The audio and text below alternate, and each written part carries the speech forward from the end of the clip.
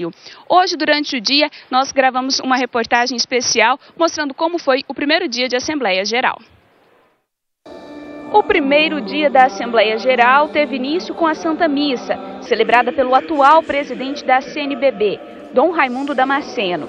Em seguida, a abertura solene teve a presença do núncio apostólico Dom Giovanni Danielo.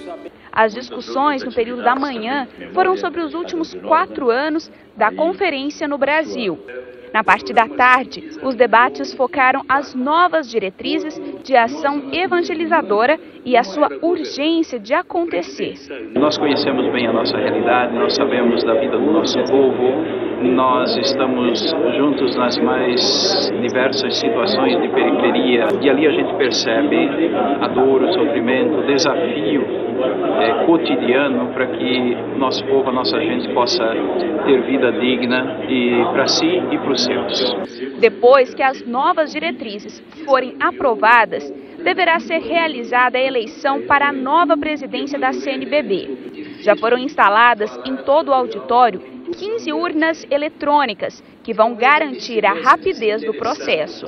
Com estas máquinas eletrônicas, não é, que sempre tem ajudado muito nesse processo eletivo da CNBB, seja para a presidência, também para as comissões, ou às vezes até para textos também. Isso tem agilizado muito o trabalho dos bispos. Com isso se ganha tempo para poder trabalhar melhor também os demais temas não é, da, de cada assembleia. Todos os bispos na ativa podem votar e também serem eleitos. A diferença nesta eleição é que não há chapas ou coligações. Cada voto é individual. Mas, independente dos novos eleitos, a principal função continua sendo a mesma: servir o povo de Deus e a igreja no Brasil.